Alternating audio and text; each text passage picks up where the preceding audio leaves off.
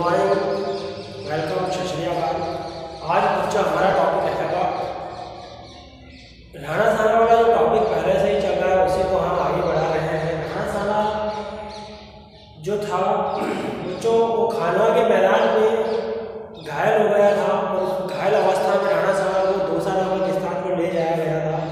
दोसा दोसा में जो है राणा साना की का स्मारक बनाया से बाद में वहाँ जब पाँच छः दिन बाद राणा साहब को होश आया तो राणा साहब ने कहा कि मैं बाबर का पीछा करूँगा मैं बाबर को कहीं से भी ढूंढ निकालूँगा और हिंदुस्तान के इतिहास में या बाबर जहाँ कहीं भी छिपा हुआ कतले आम में उसका करूँगा और इस तरह से राणा साहब घोड़े पर सवार हो गए एक बार फिर। दोसा में, दोसा के बसवा गाँव से अपने कुछ सैनिकों के साथ निकल पड़ा था।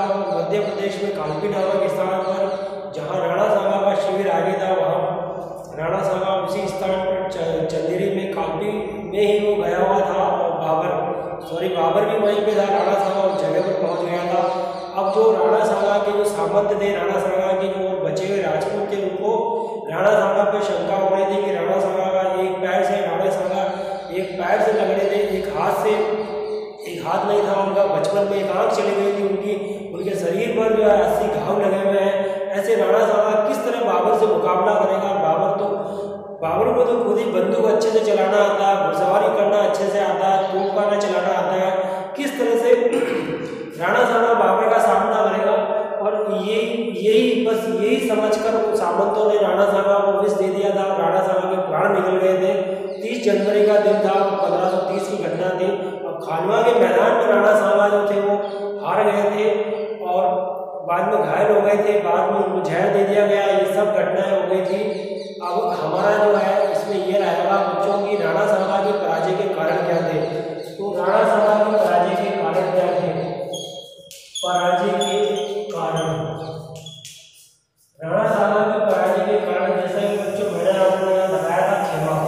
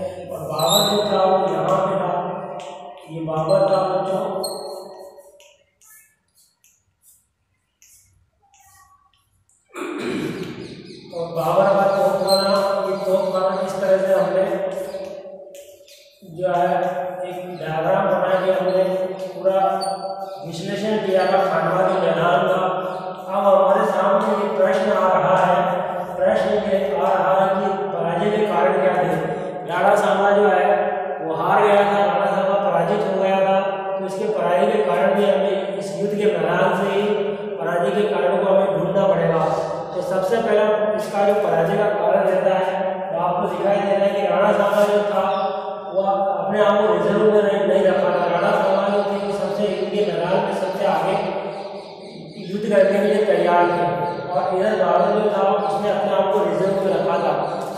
बाबर ने अपने आप को क्या रखा? बच्चों रिज़र्व में रखा था। तो ये बाबर जो पहला कारण क्या था। बाबर रिज़र्व में था। रिज़र्व रिज़र्व का मतलब होता है आरक्षित। आरक्षित यानी बाबर बिल्कुल सुरक्षित था। बाबर को किसी प्रकार का यहाँ कोई डर नहीं था। बाबर को किसी भी प्रकार का यहाँ कोई डर नहीं था। यहाँ पहला रीजन ये था कि बाबर सबसे पीछे था। ये केवल बाबर यहाँ से केवल निर्देश दे रहा था और वो निर्देश क्या निर्देश दे रहा था कि इस तरह से बंदूकचों को जमाया जाएगा इस तरह से तोप तोप चलाने वाले तोपचों को जमाया जाएगा इस तरह से गोला फेंकने वाले गोलचियों को जमाया जाएगा इस तरह से खाइयाँ खोदी जाएगी, इस तरह से तोपे जो है उनको जंजीरों से बांधा जाएगा और किस तरह से जो अटैक किया राष्ट्रपति पर हमला किया जाएगा, ये पूरी व्यू रचना वो रिज़र्व में रहेगा, ये कर रहा था पहला रीजन ये था। दूसरा, राणा साहबा के पराजय का दूसरा कारण था तोपखाना बाबर के पास में तोपखाना था। यहाँ राणा साहबा के पास में आपको, जो राणा साहबा के खेमे में आपको कहीं भी तोपखाना नज़र आ रहा है बच्चों नहीं आ रहा है, इस खेमे में कहीं भी तोपखाना नहीं है। यहाँ जो है तोपखाना नहीं था।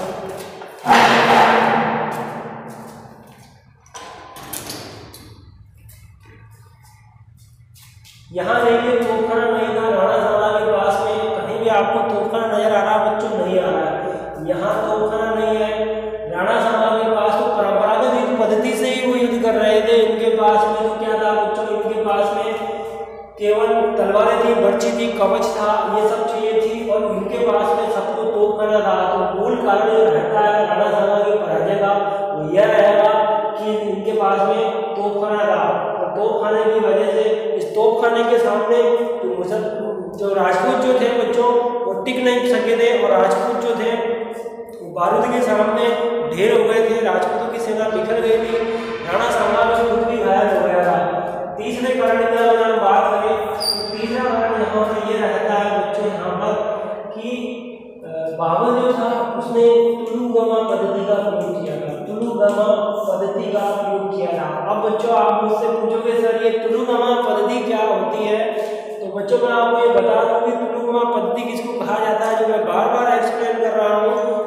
सामा ने खाइयाँ खुदवाई थी राणा सामा ने तोपों को जंजीरों से बनवाया था राणा सामा ने यहाँ गोला फेंकने वाले गोल अंदाजों को, बंदूक चलाने वाले बंदूकियों को, धनुष चलाने वाले धनुर्धारियों को, इस प्रकार से जमाया गया था, इसी व्यूह रचना को तुलुगमा पद्धति कहा जाता है। यही तुलुगमा पद्धति का प्रयोग बाबर ने किया था, राणा सामा ने नहीं किया था। राणा सामा केवल परंपरागत पद्धति से युद्ध कर रहा था। तो ये इसका तीसरा कारण रहेगा तुलुगमा पद्धति अगर चौथा कारण की हम बात करें तो कुछ इतिहासकारों ने यह कहा कि बयाना एक बयाना की घटना है, बच्चों, ये खानवा के युद्ध से पहले बाबर ने हमला किया था, बयाना में बयाना जो एक जगह पर हमला किया था, और इस बयाना में मुसलमानों को राणा सामा ने इतना ज़बरदस्त पराजित किया, राणा सामा की राजपूत सेना ने इतना ज़बरदस्त पराजित किया कि मुसलमान जो थे वो घबरा गए थे। घबरा के गए थे, राणा सामा युद्ध का मैदान छोड़ के भाग गए थे। राणा को पूरी सच्चाई का बखान किया था कि राजपूत राणा सामा की सेना बहुत ज़्यादा शक्तिशाली है। हम उनके पास, हम टिक नहीं सकते हैं। और उसी समय अगर कुछ इतिहासकार कहते हैं कि उसी समय ये राणा साम्राज्य था बयाना के मैदान से तुरंत बाबर के ऊपर हमला कर देता।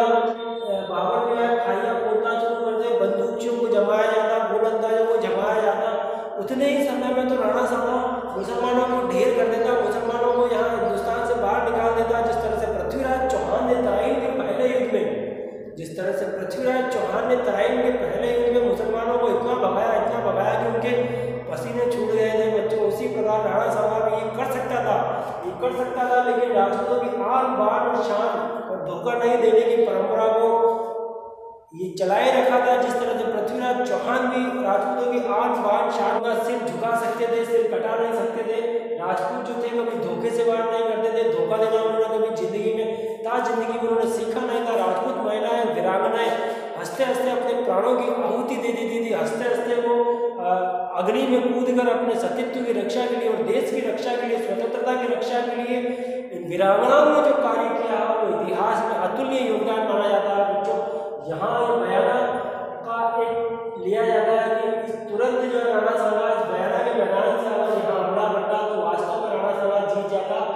लेकिन जब समय और इतिहास निकल जाता है, जब चिड़िया चुप गई खेत फिर पछताए, तब का अवत है।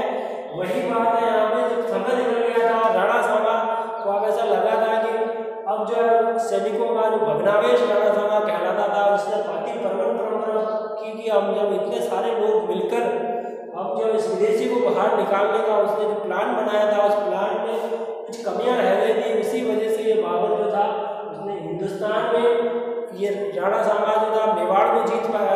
राणा सामा राणा सामा का अगेंस्ट जो बाबर जो था, वो यहाँ मेवाड़ को जीत लिया था और इस राणा सामा को पराजित कर दिया था। तो यहाँ ये बयाना का भी तुक माना जाता है। इस वजह से पराजय मानी जाती है। और पांचवा नंबर अगर हम देखें की जो सेना जो थी वो परंपरागत तरीके से युद्ध कर रहे थे, किस तरीके से परंपरागत तरीके से युद्ध कर रहे थे, एक भी माना जाता है, बच्चों को छठा कारण ये रहेगा कि सल एक सल करके जो होता है वो बाबर की सेना में चला जाता है। राणा को धोखा देता है, और ये बाबर की सेना में चला गया था। तो ये पाँच छह रीजन ऐसे थे जिसकी वजह से राणा सामा को पराजय का मुँह देखना पड़ा था। अब बच्चों, राणा सामा, इस तरह से राणा सामा का ये जो हमने कारण देखे थे, कारणों के अंदर बाबर की जो है नवीन युद्ध प्रणाली नहीं थी। और और राणा सामा का एक कारण और भी रहा था कि लोधी वंश में जब इस बाबर ने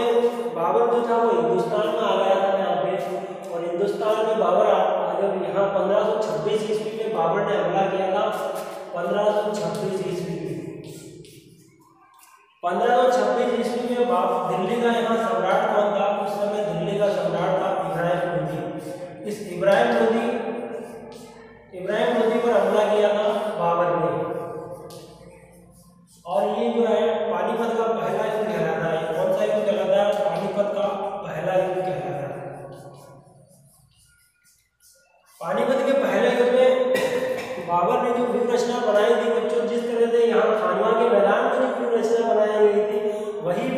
रचना पानीपत के मैदान में भी बनाई गई थी।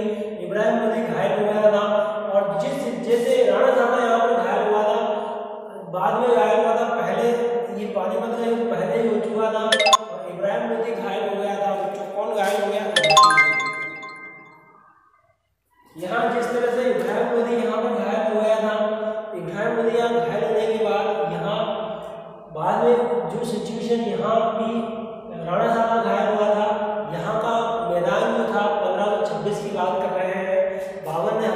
था दिल्ली पर तो दिल्ली का शहनशाह बन था इब्राहिम लोधी तो यहाँ पानीपत के मैदान में जो रचना बनाई गई थी वही खाइया खोदी गई थी, खाइया खोदी गई थी, वही जो है, खाइया खोदी गई बच्चों तोप खाना जो था, जंजीरों से बांधा गया था, बंदूकों को जमाया गया था, पानीपत के प्रथम युद्ध में जो सिचुएशन थी, वो वही की वही सिचुएशन खानवा के मैदान में सिचुएशन थी। तो दिल्ली में जो बाबर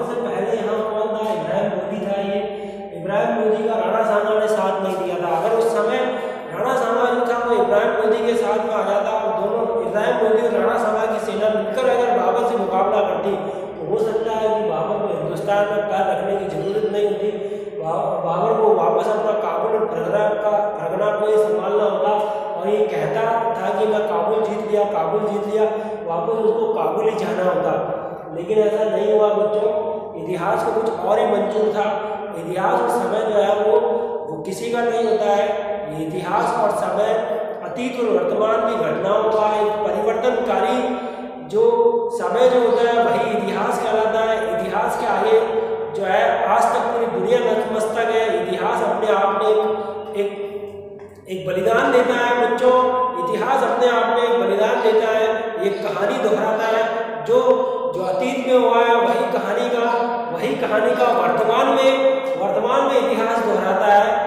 यही इतिहास है बच्चों यहाँ देखिए पराजय के कारण हमने आज स्पष्ट रूप से पढ़ लिए थे। और परिणाम में अगर हम देखें तो हानि पहुँची थी राजपूत यहाँ मेवाड़ में मुसलमानों का वर्चस्व स्थापित हो गया था। अब यहाँ जो हिंदू जो थे, वो वो मुसलमानों के गुलाम बन गए थे। जिस प्रकार से अंग्रेज़ों ने हिंदुस्तान में गुलामी की जंजीरों में जकड़ लिया था, उसी प्रकार मुसलमानों ने हिंदुओं को अपनी गुलामी की जंजीरों में जकड़ लिया था। मुसलमानों ने कहा कि अब हमारा यहाँ पर हुकूमत रहेगी, हमारा इस्लाम का झंडा रहेगा। तुम केवल घरों में दुबक कर बैठे रहोगे और इस्लाम धर्म का एक गाना है इस्लाम धर्म का एक नाम लेना पड़ेगा हिंदुओं को इस तरह का एक माहौल बना दिया था। बच्चों, ये जो राणा सामा का टॉपिक जो है, वो आज हम यहीं पर फिनिश करते हैं और हम नेक्स्ट चैप्टर में वो नया चैप्टर लेकर आएँगे। आज के लिए इतना ही। काफ़ी आप मेरे विचारों से सहमत होंगे। सभी बच्चों को okay thank you very much